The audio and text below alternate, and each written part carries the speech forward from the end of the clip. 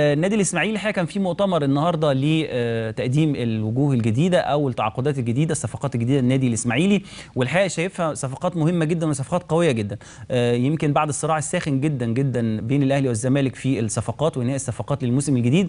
كمان النادي الإسماعيلي يمكن سبع أو ثمان صفقات من العيار الثقيل وأعتقد إن هم هيفرقوا كتير جدا في نتائج النادي الإسماعيلي مع بالتأكيد أحمد حسام ميدو المدير الفني للنادي الإسماعيلي اللي في ثقة كبيرة جدا جدا مستمدة من رئيس مجلس إدارة العميد محمد أبو السعود ومجلس إدارة النادي الإسماعيلي وكمان جمهور النادي الإسماعيلي متفائل جدا جدا بالمدير الفني الجديد للنادي الإسماعيلي أحمد حسام ميدو وكل الصفقات الجديدة وآخرها طبعا شيكابالا واللي انهوا المشكلة بتاعته وانضم بشكل رسمي للنادي الإسماعيلي. عفروتو طبعا لاعب نادي دمنهور الموسم الماضي واللي تألق بشكل كبير جدا.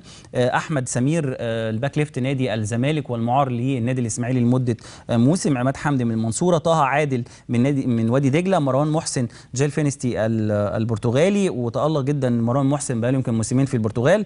والغاني طارق جبرين صانع ألعاب بوكا سبور التركي. وده يمكن بعض اللقطات من المؤتمر الصحفي النهارده. ومحمد صبحي من سموحة سعد حسني ظهير أيمن الجونة. ويمكن في الحقيقة تصريحات مهمة جدا لسيادة العميد محمد السعودي ان كلهم ثقة في أحمد حسام ميدو إنه يقدر يعود بالنادي الإسماعيلي للمنافسة على البطولات في الفترة القادمة. والصفقات الحقيقة اللي قدر النادي الإسماعيلي ينهي هذه المرحلة أعتقد إنها مهمة جدا وهتساهم مع يمكن دي صورة يمكن أعتقد شيكابالا عفروتو وأحمد سمير وحسني عبد ربه ومحمد صبحي اللي كان في نادي سموحة الموسم الماضي مع مجموعة اللاعبين الموجودين في نادي الإسماعيلي قدروا الحقيقة يعودوا مع أحمد حسام ميدو للبطولات. كل توفيق النادي الإسماعيلي الفترة القادمة.